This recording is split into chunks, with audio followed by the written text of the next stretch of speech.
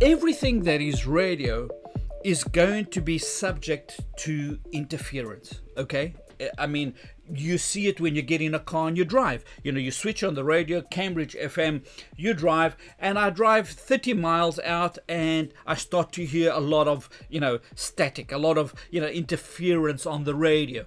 And either I adjust a little bit to see if it gets better, but after a while, yeah, lots of interference and it kind of becomes a nuisance and I don't want to listen to it anymore does that mean that the radio stops, that that radio wave dies at that point in time? Not really, because radio waves really go on forever, right? A radio, you know, when when a radio wave goes out, it just keeps going on for for forever.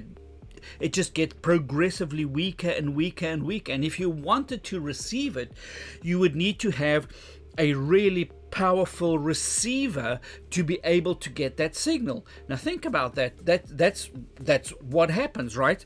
Um, if you think about um, uh, the International Space Station. It's sitting, you know, hundreds, I mean, thousands of miles away above us, floating somewhere above us. How do we communicate? We communicate using radio.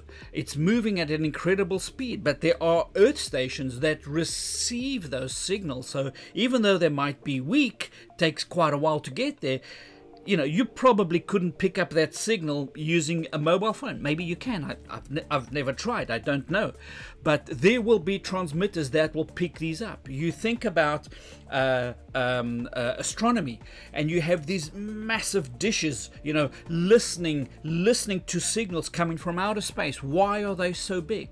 Because they need to be super sensitive to receive, you know, light or to receive, for example, these these radio signals that are that are being beamed, you know, or, or just appearing from from outer space. So you get you get the idea, right? there's always going to be interference okay um, interference I've even seen it here in the UK um, with a satellite dish. We're watching television using a satellite dish, and if there's a bad thunderstorm, you there would be so much interference that you'd actually lose the signal. So in Wi-Fi, it's exactly the same. Um, here, for example, on this particular slide, you can see this interference over here.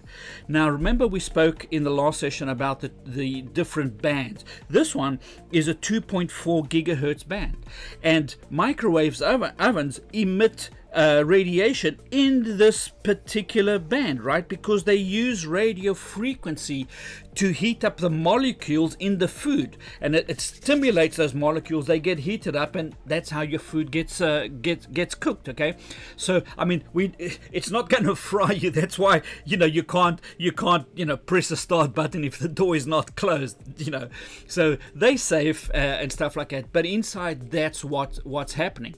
But depending on the insulation quality and the age of the microwave, you might find that if you have an access point close to a microwave and someone wants to do cooking, you're going to lose your your Wi-Fi signal. It's not going to work really that well because of uh, because of interference, right?